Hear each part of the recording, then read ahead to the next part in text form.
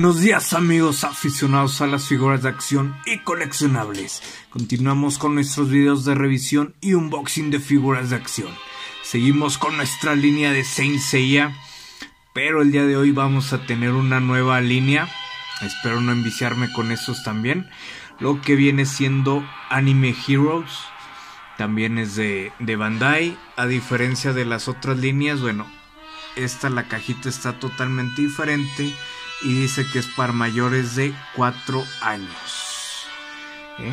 Para enviciar a los niños, a los nuevos niños con estos con estas figuras de, de Saint Seiya.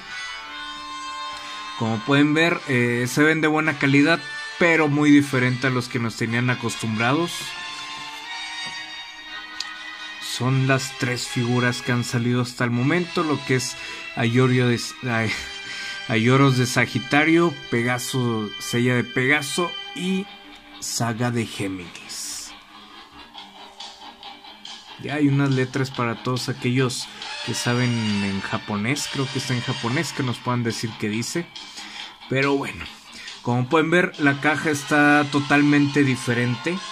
De hecho, aquí tenemos de ejemplo una caja EX del mismo Saga para que más o menos se, hagan a la idea de qué tanto está de diferente. Eh, digo, si es que todavía no tienen de, de estas figuras de, de Saint Seiya de los Midcloth, que me imagino que la mayoría de los que están viendo en el video son más viciosos que yo y han de tener varias figuras de, de nuestros personajes favoritos. Y bueno, aquí unas para los que no les han tocado de las clásicas de los Midcloth. Eh, bueno, no es tan antiguas estas, por ahí del 2006, 2000, miren, este es del 2008. Y Odesila, que también por ahí les debo el video. Pero bueno, ahorita vamos a hacer la comparación de nuestras figuras ya una vez que lo tengamos de fuera. Muy bien amigos, vamos a ver qué tal se ve nuestra figura y continuamos. Y muy bien amigos, ya tenemos aquí a Saga de Gemini o de Géminis ya fuera del empaque. Como pueden ver la figura está bien padre, se ve muy bien. Eh, habrá varios detractores de la línea. A lo mejor yo seré uno de ellos, digo. Este, las figuras están bien padres, a mí me agradan. Pero para lo que nos han tenido acostumbrados este, la línea, pues sí está un poquito diferente. Bueno, nos han tenido acostumbrados a los repintados más que los de Transformers. Pero vean, por sí sola la figura está bien padre. A mí me agrada mucho cómo se ve. Eh, sí le falta acá sus detalles que hagan que tengan ese precio. Eh, las sombreras no se le mueven. Tiene la articulación del brazo, del codo, algo del hombro. La cabeza, lo que se alcanza a mover con las. con los. con el pelo. Las piernas no alcanza extenderlas todas ya que no tiene buena movilidad de lo que es el faldón.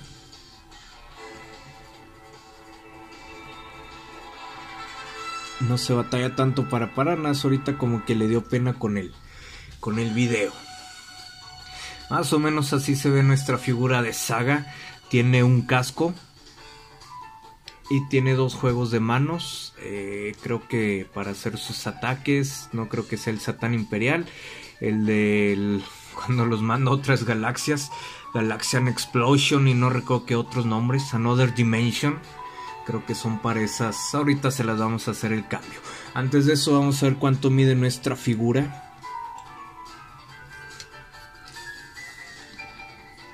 Mide 16 y medio no está muy alto. A mí en realidad la, estatura no me molesta.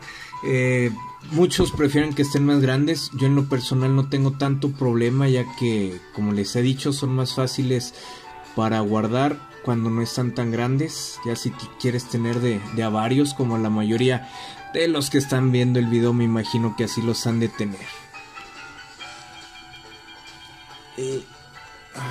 Lo bueno de estas manos es que no están tan pequeñas como las de los Midcloth. De las de las uniones, ahí está. Entonces sientes que no los vas a romper. Me recuerda ya algo a los de a los de Dragon Ball. Algo que muchos probablemente van a tener esa duda. El casco se le pone, no, no se le pone, nada hasta para que lo cargue acá bien chido.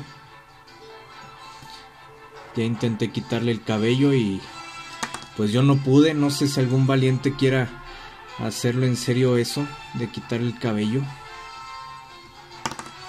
Se le cae el casco, no te caigas, nos haces quedar mal.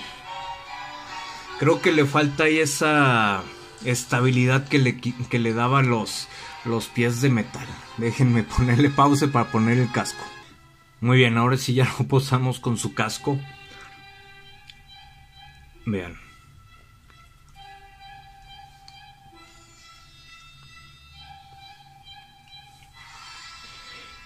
Muy bien, vamos a hacer otras comparaciones con figuras de, de saga que ya tenemos. Muy bien, vamos a ponerlo tantito para atrás. La primera comparación que sería sería con esta versión EX. Yo tengo el Saga Sapuri.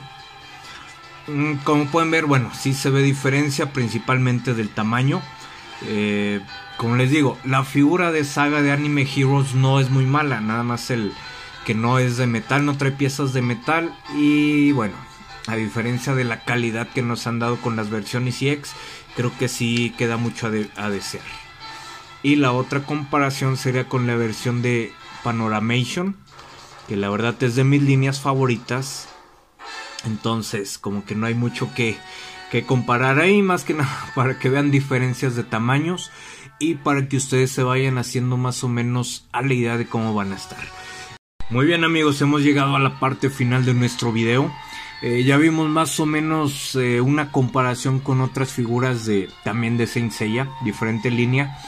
Más que nada el video fue un tipo crítica eh, para que ustedes, los espectadores, vean si les convienen este tipo de figuras o no.